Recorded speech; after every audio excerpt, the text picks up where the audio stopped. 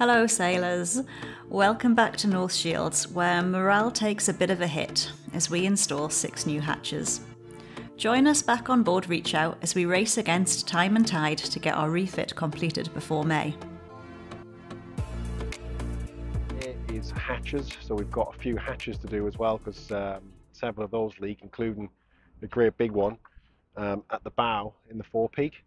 Um, and I had been um, kind of not well concerned, whatever. You know, I wasn't looking forward to this job because uh, getting the port lights out was an absolute mission. But there is a god, it would seem, because the hatches seem to have been put in with butyl tape, and this butyl tape just kind of comes off um, into like this like putty-like balls. I think they do normal windows in houses and stuff with this. So it's pretty easy to get off. It's a it's a lot easier to get off than the silicon adhesive stuff. Um, and actually, uh, this is this is it is this the big hatch off now. Um, so we've got another one uh, to go in there. But what I would say is that you know again these are eye-wateringly expensive items.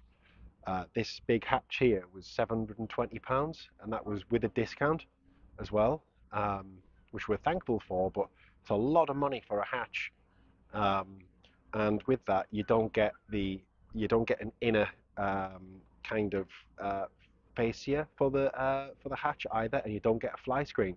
And when you look at the prices of those as well, you're paying over 100 quid for a fly screen and a trim for the inside, which is just like, I mean, it's madness. So what I've learned is that we need to kind of preserve the inner um, trims that we've got at the moment, and hopefully we've got a fly screen. Otherwise, we'll be making one because I'm not paying 70 quid for a. Honestly, if if these were quality fly screens, I, I might consider buying them because they're going to last a few years and they're going to do the job. But when you get them, they're literally like the cheapest asked um, fly screens you can imagine and but there's like a 40 50 60 quid price tag attached to it it just doesn't make any sense you know um, so we'll cross that bridge when we come to it because now these need to be cleaned down in preparation for uh, for bedding Today we are doing the big hatch, the big forepeak hatch. Only slight problem. The old holes don't match the new holes. So Rob is marking on the new frame where we're going to have to uh, drill some new holes and then we're going to have to fill all the old ones. yeah the, the plan I'm a bit nervous about but the plan is to drill the old holes uh, and then fill that hole with a wooden dowel with a bit of wood glue to then essentially fill that hole um, epoxy over the top of that, gel coat over the top of that, and then just install as, as usual, like, as we ordinarily would. I don't know if this is going to work, uh, but we're going to find out. We're going to do it live. Let's go.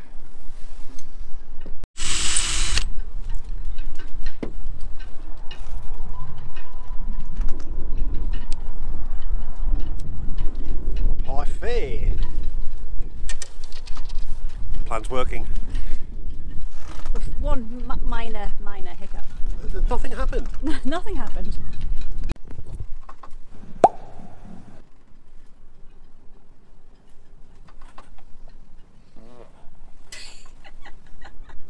Is it windy? So what's the sit rep? How's it going? It's a boat job. It's going, but being a boat job. Yeah. It's been one of those days. Oh God, has it?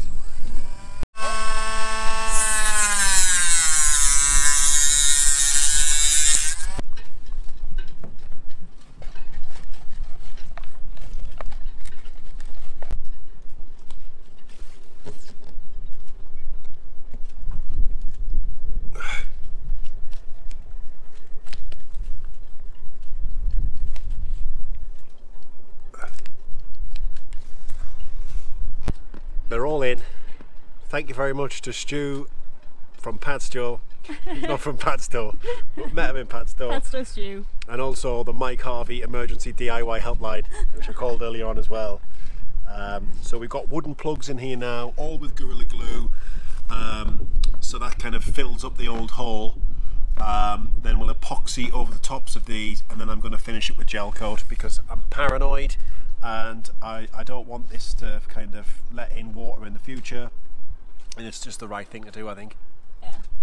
But that is enough for one day. Oh my god! Let's get, uh, well, some rain's coming, obviously, because we're doing hatches. So we're going to put the old ones back in and we're just going to put some plastic sheeting over the top, masking tape that Oh. down. Are you okay over there? I've, I've been in the same position for so long that I just. Oh! It's enough for one day.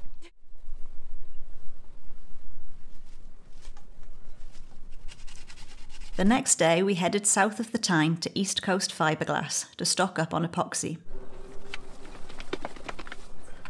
So Chico had Chico time and we have epoxy time, which is 20, no, 10 past four on a Friday afternoon. Um, and we're going to use this to basically create a waterproof seal on the top of our holes in the deck. So let's go. We've been to, we've been to South Shield Supplies. Never done this before. Three to one though. I can work with that. Let's go.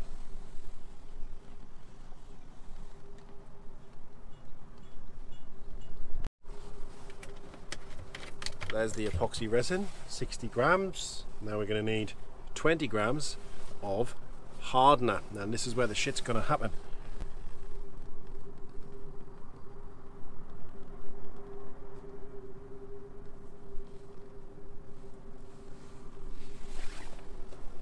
So now we're going to mix it and mix it and mix it, and it'll create an exothermic reaction. It'll start to get warm, and then time is of the essence. So what are we going to mix it with? Well, the only thing we can mix it with at the moment, a fish and chip fork And where did you get the fish and chip fork? from the Golden Chippy in uh, Wallsend. Thanks, Kev. What was your official verdict? I thought it was a four. I thought the chips, the chips could have been crispier, but the fish was actually really nice. I think it could have been a little bit fresher. If it wanted to get those five stars, it needs to be a bit fresher. But the size of it was lovely, and uh, yeah, the people in there were really nice actually as well. I had a bit of a chat on with them. Four Uh, out of five was good. Four out of five's good, man. It's a good chippy. Yeah, it was a good chippy. Anyway, I'm going to mix this for three minutes, and I can't make the review of the fish and chips last that long. So uh, yeah, four out of five. Good recommendation. A few moments later. We need some thickener in here. Uh, It looks like corn flour. it does look like cornflour. Can you get me something to actually use uh, to get it in with, though? Okay.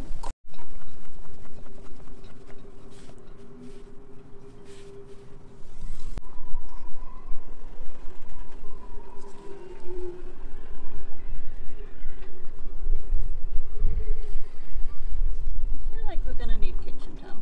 Yeah.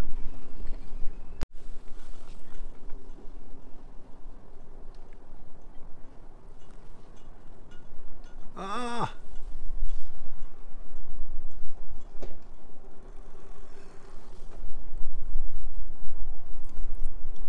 Once the epoxy was in, we nipped to the local for a nice cold pint, or three, and prayed that the epoxy would harden. Our prayers were answered and we were able to cover all the holes for the night. The following morning, we started sanding the epoxy flush to the deck.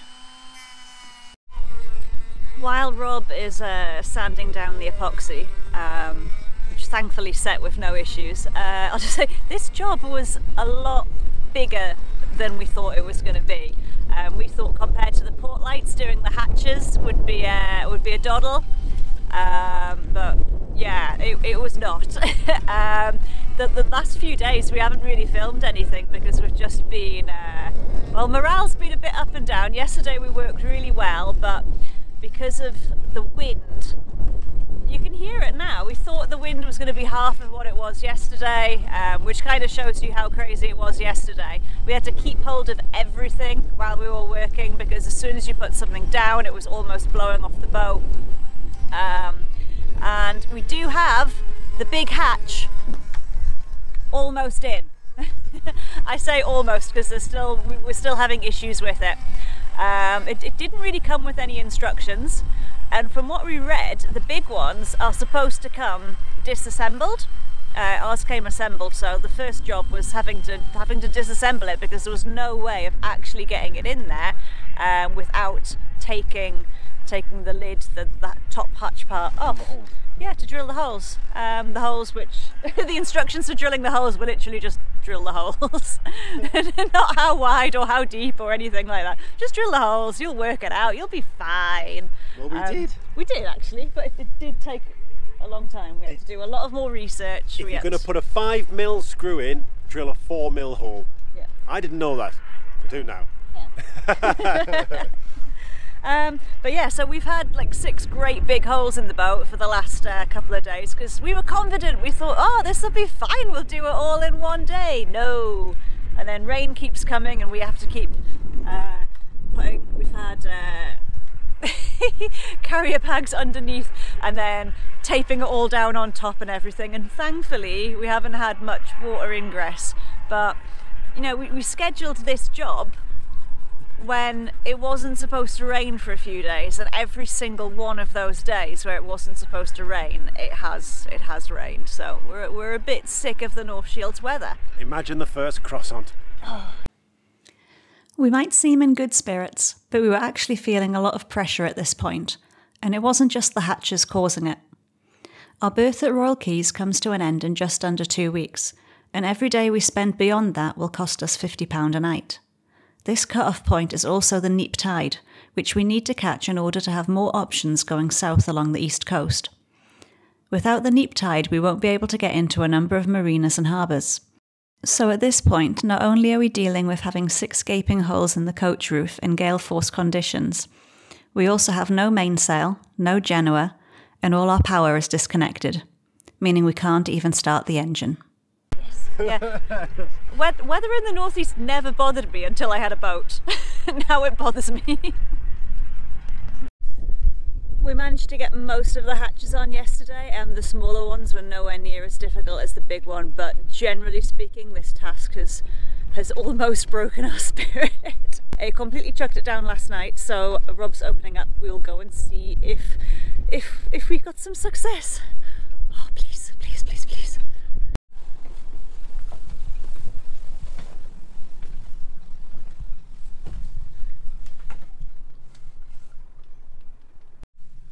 Leaky port light, since the screws have been changed, has not leaked. Oh, that's good. So, So- do we have like no leaky port lights We've now? got no leaky port lights at the moment. Unless you want some leaky no, no, lights. no, no. I've had quite enough of those. Yeah. Oh, there's water in here though. oh no. Is that from the big one? No, it's from this small one. Oh. We might need to double up the butyl tape. Ah, but that one hasn't got a f- frame. The frame that shouldn't make a shouldn't difference. matter. Yeah. And what about the big one? Leaks. Ah. All is not lost. I mean, we can just tighten the screws. It is supposed to kind of seep down and stuff like that, but we know for a fact that there's a screw not performing as it should on that one. Yeah, Um, so yeah, there's more work to do on that, but it doesn't leak as much as it used to. that's it. It's it's a bit better. Yeah, yeah. yeah, this one's fine as well. Excellent. Right, one hatch to go. Well, one hatch plus some some repairs. It's currently under a little tent because the epoxy wasn't quite set on some of the uh, the holes that we had to drill, so I had to make a little cardboard a little cardboard tent for it and then tape over that. Um, so hopefully it's dry and hopefully the epoxy is set.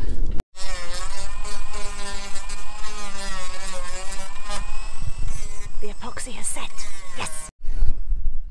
I know I'm whinging about the weather quite a lot, but it's going to be gusting 40 again today. Um, which it does make everything more difficult. Like we have to have both of us on deck at all times when we're working because guaranteed the second one of us leaves, something will shoot. There'll be a gust and something will shoot off the boat, and then one of us will just shout, "Boat hook!" We were fishing, um, fishing Tupperware boxes full of uh, drill bits out of the water yesterday. The cushion went flying towards the end of the day. That went in the water. it was it was testing us. But today we're gonna get the last of the hatches on. They might not all be perfect, but they will be on and we can adjust them over the next few days and few weeks and we will get there. we will have beautiful, uncrazed, unleaking hatches. It will be good.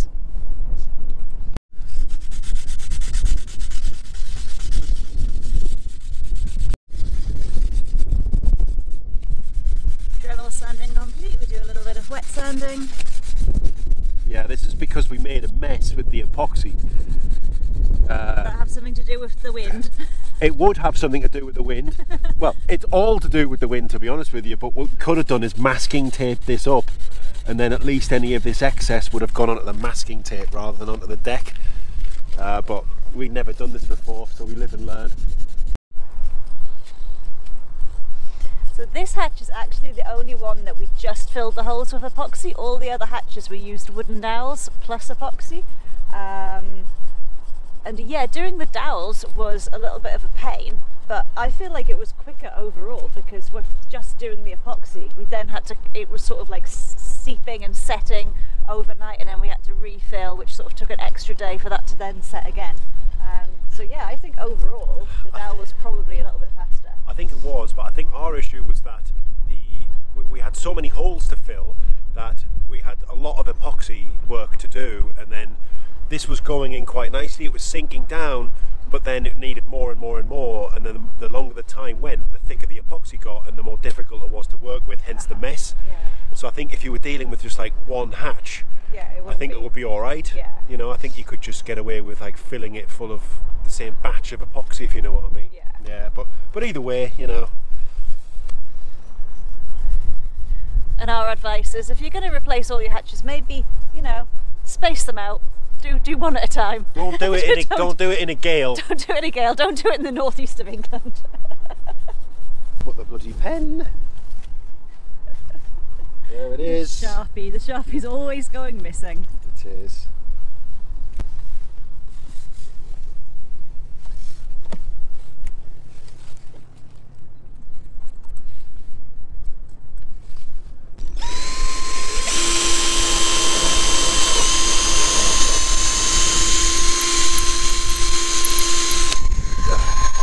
Tape. This is the hatch with the butyl tape now uh, on it. We've gone round twice. We couldn't film it because we literally needed all four hands to get that on there. And to make sure it's, it is in the right place, Rob's just going to punch through the tape. Easier said than done. Just to make sure that the holes in the frame line up with the holes in the deck. We put a little bit of butyl tape around the screw heads as well.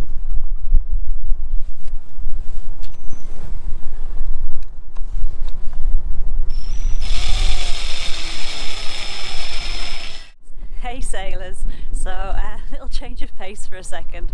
As you know, I am extremely fond of a cup of tea. so, so fond of a cup of tea, in fact. I was wondering how many tea bags I'm going to need to pack for this voyage.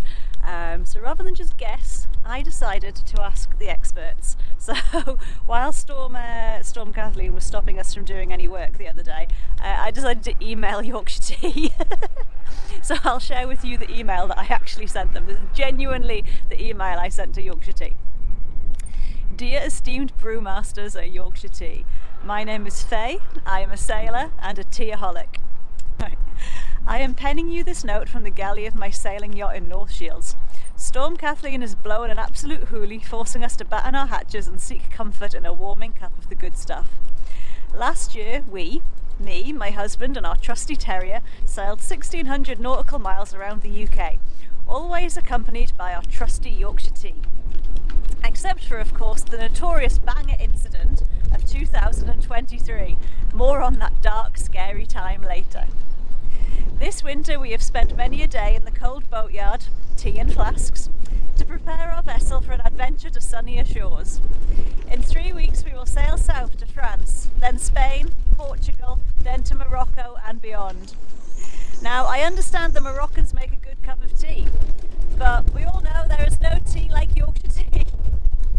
And before I leave for five years on the high seas, I must make sure we have provisioned for five years of the high teas. So here's the tea, so to speak. I am looking to calculate the exact number of tea bags I should stow away to avoid any tea related tragedies, such as the aforementioned banger incident of 2023. I'm appealing to your legendary northern wisdom and tea expertise to help me figure this out. How many tea bags would sustain a tea addicted sailor for such an epic voyage? Now, it's a known fact that shy Ben's getting out, So while I'm here asking for your arithmetic assistance, I might as well come cheekily with cap in hand. Any chance you'd fancy sponsoring us? A few tea leaves for the journey.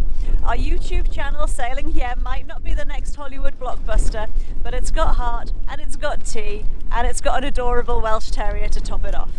We're talking prime product placement, with your tea gallantly by our sides, braving the nor- notorious North Sea, the arduous Atlantic coast, and the strenuous Straits of Gibraltar.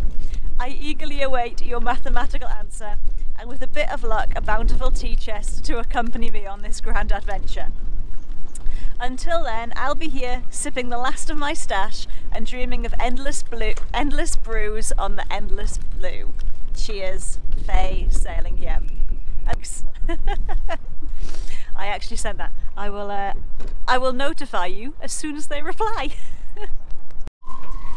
this is the satisfying bit. Ooh.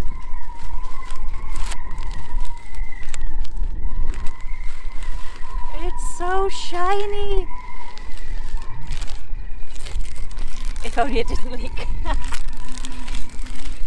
we will get it completely watertight. At some point. Maybe when the sun's shining.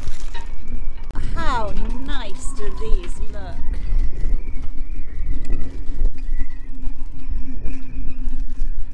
Beautiful. I stand corrected. The forepeak hatch isn't leaking. it must have settled. Yet. In, yet. must have settled into the butyl tape. Uh, that's fantastic news. Yeah. And behold the whole beauty of those uncrazed, new, shiny hatches. Love them so much. Five minute job.